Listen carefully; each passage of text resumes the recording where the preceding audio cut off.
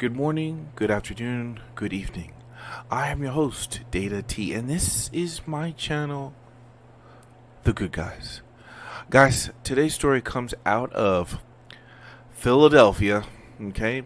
And the title reads Police, five year old boy, 71 year old grandfather shot while at Philadelphia gas station.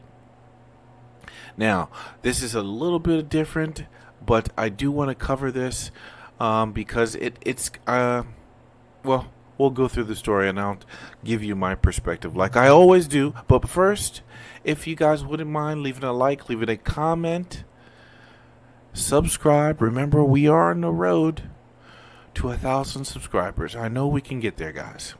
All right. So, guys, hit me up on Twitter, on Minds, and even on Truth Social. So let us dive in to this story. A 71 year old grandfather and his five year old grandson have become yet two more victims of gun violence in Philadelphia, all as they were simply sitting in a car at a gas station. Saturday night, I'm Walter Perez. The big story in Action News is a shooting in southwest Philadelphia that ended with a grandfather critically wounded tonight. Meanwhile, his five year old grandson is listed in stable condition at CHOP. The gunfire erupting on Passyunk Avenue just before 6 o'clock this evening. Action News reporter Katie Katro found out there was a third person inside that vehicle with the victims. Katie joins us live from police headquarters with details tonight. Katie. And Walter, police say at this point the search is still on for the gunman.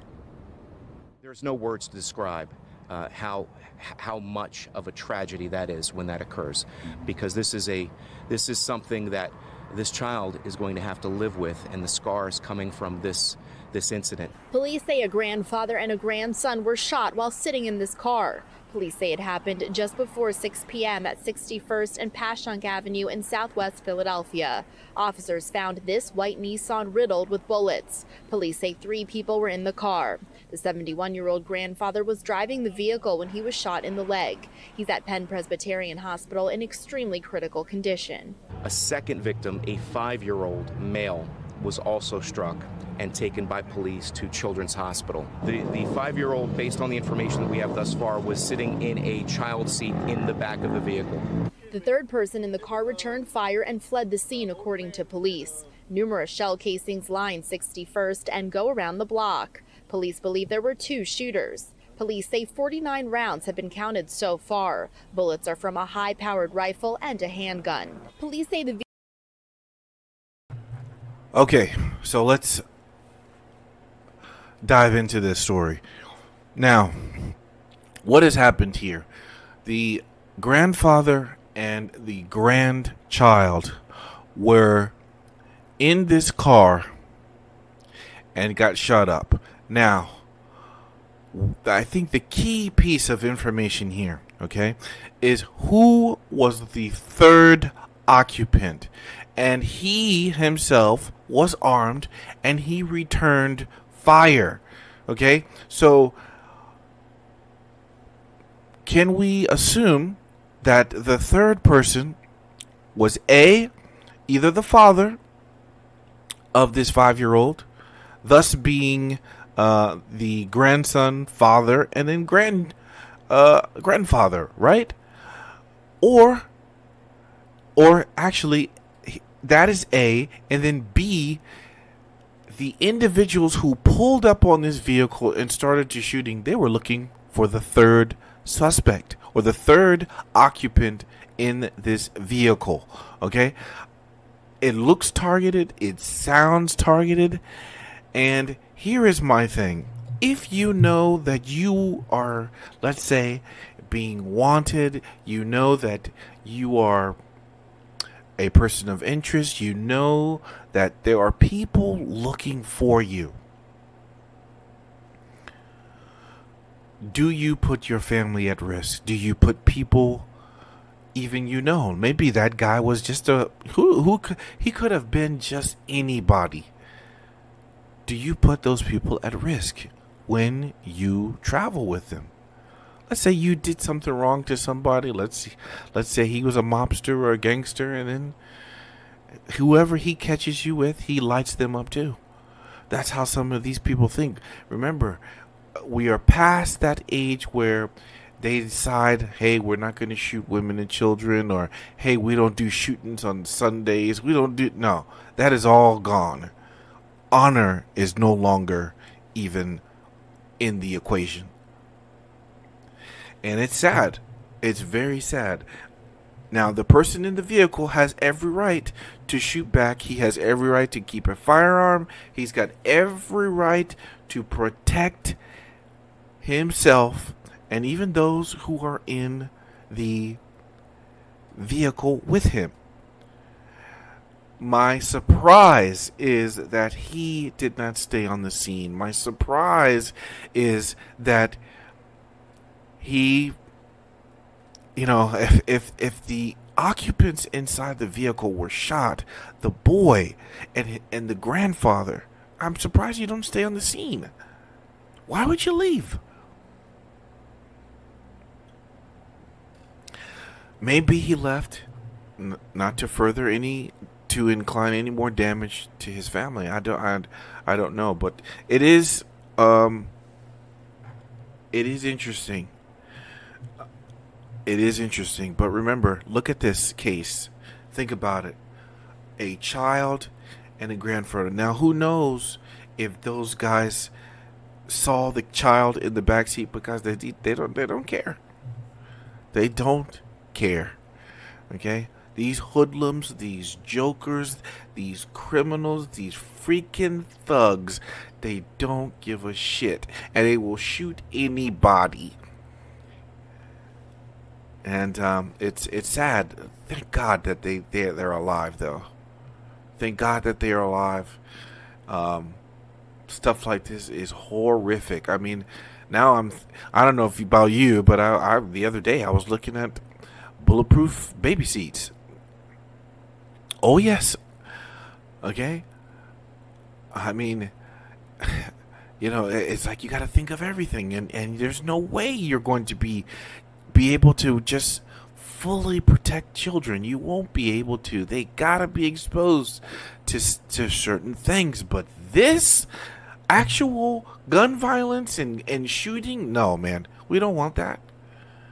We don't want that. something, right? Every day there's something. Let me play the rest of the story, guys vehicle was in motion and it appears the vehicle was targeted. It's always unconscionable when anyone is a victim of gun violence, all the more so when you have an innocent child that obviously through no fault of their own happened to be in a place where they are, uh, you know, they're, they're shot. And at this point, police say they don't have a motive as they're still looking for the shooters. If you have any information, they could certainly use your help. Reporting live at police headquarters, Katie Katro, Action News at 10 on PHL 17. Well, guys, says that. Um, yeah, I, I, they they confirmed that. I guess she, the, the police officer or even the news um, journalist or whoever that is, they're saying that uh, looks like it was targeted, and that's what it looks like to me as well. But you know, do you put your your family in that position? Let's say you you do something wild and crazy or even let's say you do something no fault of your own you do something that's just maybe you're just protecting or you're standing your ground or you're you're not allowing yourself to be bullied by some thugs on the corner and then they run up on you. They pull up. Only only only heathens, animals do this. And I hope when they find these people, that's why sometimes I believe there should be somebody in the streets that just cleans it up. You know, cleans it up with a gun. Oh, you're talking about vigilantism. Oh, well, I mean, I'm not going to push for it, but man, my goodness if more people were armed when these guys were attacking and be able to respond, I think a lot of this would be cleared up. A lot of criminals would just say, hey, people, these regular Joes are armed. We need to be careful. Okay? They may be, hey, we're so careful that maybe, you know what? I need to go get a freaking job. But who knows? Guys, what do you think about this story? Okay? Very sad. But at least the grandfather and the grandson are okay. I, I'm thinking to myself, what if the grand, uh, what about the grandfather? Sh- should he have a gun? And we've seen in various cases where there has been 93 years old, uh, 73, 63. Old people carry firearms as well. Okay, um, they are perfectly well and equipped to. I mean, you know, health wise, we're not sure, but uh, we have seen of all spectrum of ages of people defending themselves. So, um, grandfather could have had a gun too. Uh, you know, and I'm thinking about it too. In my old age, uh, I'm not quite there yet, but when I get to 60, 70 years old, I'm still going to carry. If if if I'm not, my hands are not shaking, and I don't have any arthritis or anything like that, yeah, I'm still gonna I'm still gonna carry. Okay, so good people should always have guns all the time, guys all the times. Good people should keep and bear arms to the teeth. You know, for unscheduled events, events that just pop off for no goddamn reason. It doesn't make sense, but at the least you are prepared to do something. You may be even carry a gun and you get shot and you you don't even get a chance to pull it. I hear that. I I do. I really do. But in the off chance that that is not the case and you have the ability to protect yourself, why not? Why not carry it? Why not have it? It's the same reason why people have insurance. You may not need it, but it's there. Okay? So, that's my two cents there.